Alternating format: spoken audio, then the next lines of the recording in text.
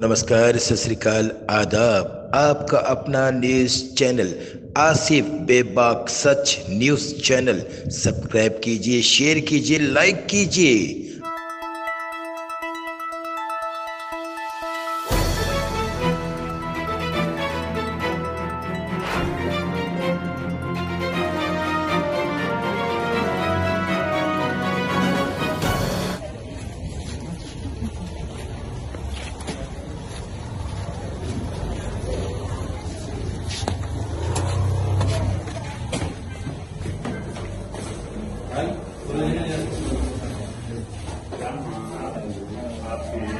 Department वालों को जिस जिसका नंबर आपके साथी दिए, उनको भी कॉल करते जा रहे हैं कि डॉक्टर नहीं है, भर्ती दवाखाने में डॉक्टर नहीं है। खाली आ जा रहे हैं, कल आ रहे हैं आ जा रहे हैं। एक दिन के वास्ते अब छह महीने नहीं थे, उसके बाद फिर हम लोग यहाँ पे प्रोटेस्ट करने के बाद डॉक्टर आए। आज के कुछ दिन बचे। फिर उसके बाद, फिर गए तो फिर एक महीना, डेढ़ महीने से फिर विदाउट डॉक्टर के कैसा आप प्रिस्क्राइब कर रहे हैं आप क्या डॉक्टर है। आप डॉक्टर नहीं है ना? फिर कैसा अगर किसी को कोई भी गलत दवा अगर आप उसको प्रिस्क्राइब नहीं कर सके डायग्नोस नहीं कर सके क्या है क्या देना चाहिए? अगर कोई दूसरा अगर कोई दवा दे दिए तो इमीडिएट उसको क्या करते हैं? रिएक्शन कुछ भी होगा तो आप कुछ सब्सिट्यूट दे सकते हो दे सकते हैं? अगर किसी को कुछ हो गया तो हम आप मैं दूसरा दवा नहीं दे रही खाली खांसी बुखार हो जो है जनरल है ना फीवर मैं दवा दे रही अदरवाइज़ हाँ माँ अगर यहाँ पे ये क्यों खोला गया ये? बस्ती दवाखाना किसके लिए खोला गया?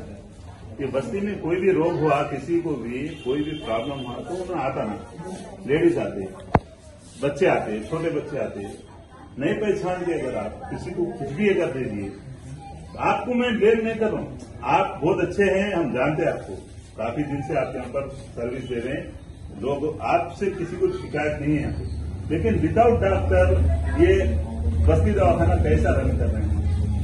आप भी कंप्लेन कर रहे हैं नहीं कर रहे कर रहे ना?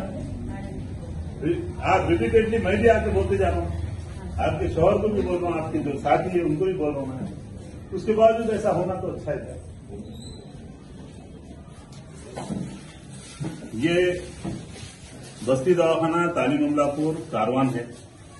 यहाँ पर तकरीबन सात आठ महीने डॉक्टर नहीं थे। विदाउट डॉक्टर के ये दवाखाना चला चलाया गया। सिर्फ़ एक नर्स के साथ, एक यहाँ अटेंडर है, उनके साथ चलाया गया। जबकि छोटे छोटे बच्चे हैं, आप सबको मालूम है, किस तरह से नए नए बीमारियाँ आ रही हैं। यहाँ पर बस्ती में लोगों के, यानी कोई भी प्रॉब्लम से सेहत के तो उनके लिए ये दवाखाना खोला गया, बस्ती दवाखाना। लेकिन यहाँ कोई यहाँ डॉक्टर देखने वाला नहीं था। मुसल से दो महीने से जब मैं बोलता गया तो एक दिन से डॉक्टर को लाके फिर उसके बाद फिर डॉक्टर रहे? तकरीबन डेढ़ महीने से फिर डॉक्टर नहीं है। यहाँ मैं हरीश राव से जो हेल्थ मिनिस्टर है अभी ने, उनसे गुजारिश कर रहा हूँ कि ये तालीम अमलापुर के बस्ती दवाखाने में जल्द से जल्द डॉक्टर का अपॉइंट किया जाए। या अगर डॉक्टर हमको क्या बोला जा रहा है कि डॉक्टर है यहाँ पे? तो फिर ये डॉक्टर की सैलरी कौन दे रहे हैं? गवर्नमेंट दे रही है। हमारे टैक्सों से अवाम के टैक्सों से दी जा रही है।